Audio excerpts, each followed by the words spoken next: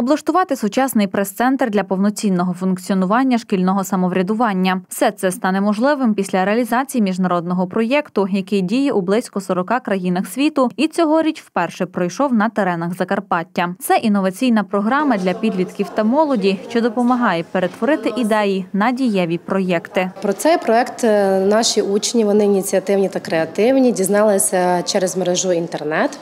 Е, Цей проект називається Upshift. Його е, реалізує е, громадська організація Простір молоді. Е, Ми про нього дізналися і ми вирішили спробувати. Ми хотіли.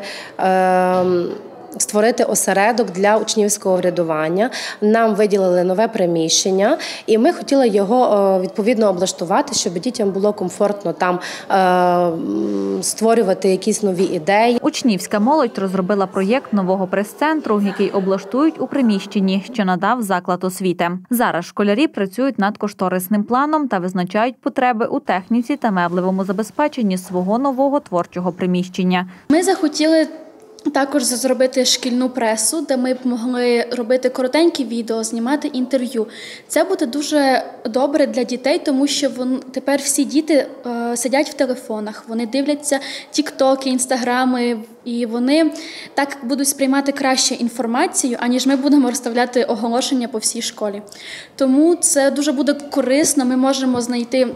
Цікаву інформацію для підготовки НМТ, це для 11-10 класів. Також інтерв'ю ми будемо брати від дітей, і вони будуть зацікавлені у тому, щоб вони теж були там. Щоб ми зробили цей осередок, нам потрібно е, меблі.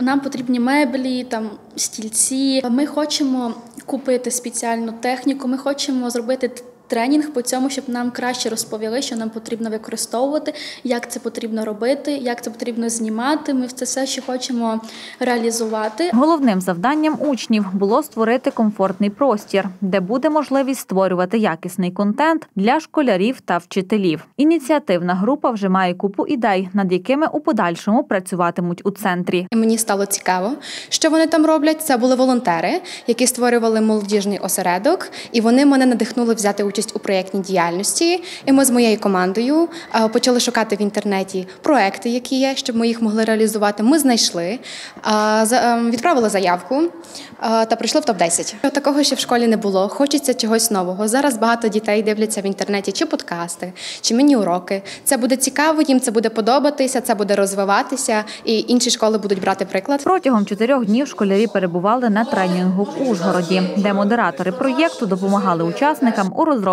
плану їх творчого осередку та надавали професійну консультацію. На тренінгах нам найбіль... е, в нас кожної команди був свій ментор.